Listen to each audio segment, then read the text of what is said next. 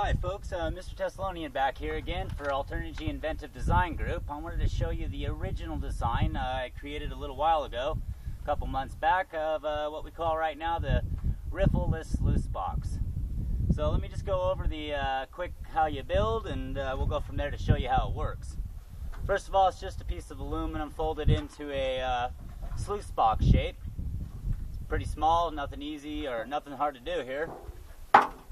Second of all, I have a piece of old real estate, steel real estate sign. Um, what I've done is folded it with some edges just slightly larger than the aluminum box, so it'll sit underneath like so.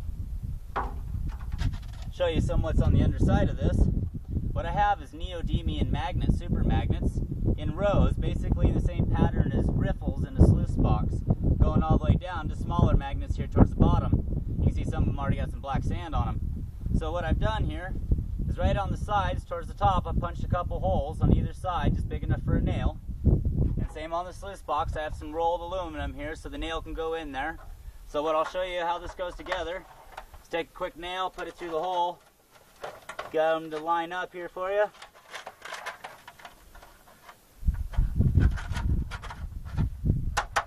Alright so what you end up with is basically a design that holds itself together that has a hinge so they can be set together so the aluminum and the magnets are close to each other, creating that magnetic field to go up through that box. What I do to lock that together here is I have an extra neodymium right here, picked it up, I throw that neodymium right there on top and you'll notice it sticks there on its own. There it goes, locks on and keeps that thing shut. So I'm going to show you how this works here.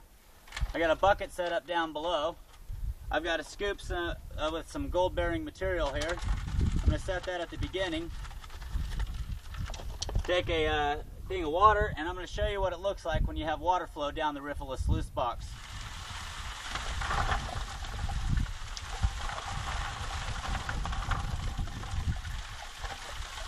Need a second to readjust on the jug here.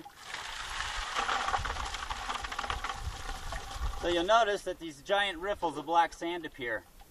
These riffles of black sand is basically how you can clean out your concentrates of your black sand. This could be a pre-sluice system to your normal dredge or sluice box or any other system you're running uh, gold-bearing uh, sands through.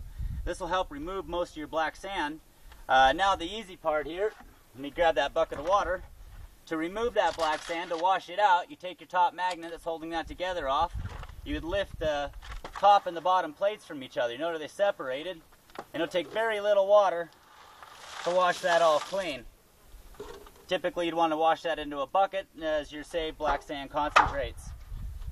So there you go. This is uh, just the original production uh, prototype that I had built just to test the concept of the riffleless sluice box.